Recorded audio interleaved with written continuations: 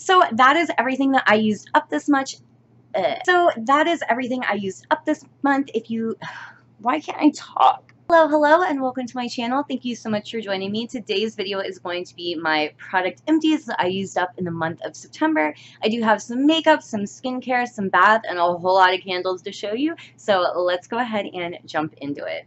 So the first few items I used up are just these face masks, and these two right here I absolutely love. These are from the Moisture Bomb line from Garnier. So that top one is supposed to be anti-fatigue, and then this back one is just the regular moisture one. I do really enjoy both of these. I think they are absolutely fantastic.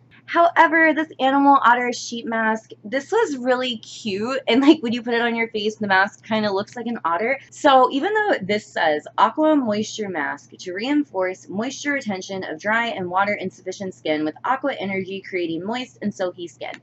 I do not agree with that claim whatsoever. Maybe if you have like normal or oily skin, this might work for you, but this dried the crap out of my face. Not a fan, would not repurchase. Okay, and then next I did use up some Neutrogena makeup remover wipes. This is just one of the mini packs. I mostly just use these to like remove swatches and stuff like that. Um, I definitely prefer a micellar water on my face to remove my makeup, but these are just okay. I definitely prefer the darker blue packaging. That's like the hydrating version.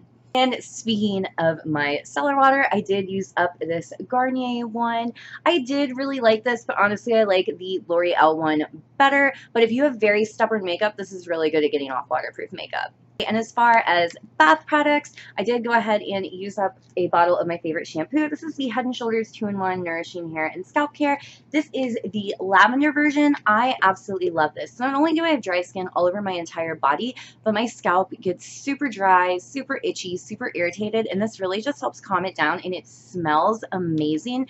This is, I think, the only 2-in-1 shampoo I've ever used that I feel like actually does wonders on my hair. Not only does it smell good and it gets rid of like the itchiness on my scalp, it makes my hair feel and look great.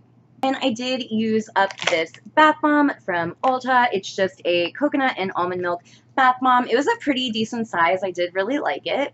I used up a bag of cotton rounds. I buy them from Publix CVS, wherever I can get them on sale, really, but I cannot live without these. And I mostly use this up. This is my Renewed Hope in a Jar by Philosophy. This is for the dry version. It's okay. As you can still, as you can see, there's like still a little bit in there, but I'm not a huge fan of cream-based moisturizers. I'm more into gel and I don't know. I feel like this is starting to go back, so it's kind of starting to like change a little bit in smell. And yeah, I'm just going to go ahead and get rid of this. I'm considering it empty. I did use up a solid brush cleanser from Sephora. Basically, there's just a bar of soap in here that you can use to clean your brushes and your sponges. Beauty Blender makes one, but this one from Sephora is actually a couple dollars cheaper, and I feel like it works just as well. Next, I did use up a couple of priming sprays. So this one right here is from Wet n Wild. I think that it did a good job of prolonging my makeup, but there is definitely alcohol in this. It's one of the first or second ingredients, and it smells like there's alcohol in this, and it didn't necessarily dry out my skin too bad. I'm just trying to avoid using alcohol-based products on my face. So I would not repurchase this, but for the price, I thought I did a pretty good job of staying power. And then I finished off my Smashbox Photo Finish Primer Water. I've repurchased this a couple times. I do really like it. It doesn't have alcohol or silicone in it. I have decided that I kind of like my Mario Badescu one more, but I do like this. I think it is a little pricey, but it is worth trying out if you're curious. Next, I used up a Viva La Juicy perfume sample. I love this so much that I actually bought the full size. How beautiful this bottle is. But yeah, like I, I love this so much I actually bought the full size. Next, I used up a mini Laura Mercier translucent setting powder, and I absolutely love this. I feel like this is the best powder I've ever used on my dry skin. I can use it to set under my eyes, I can use it to set my entire face, and it does not make my skin look dry or cakey. I am obsessed. And I did use up my new favorite concealer. Don't worry, I already have another tube going. This is the Infallible Pro Glow Concealer. I have mine in the shade Classic Ivory. Like, this thing is dead empty. I love it though. I feel like this is the most perfect brightening medium coverage concealer.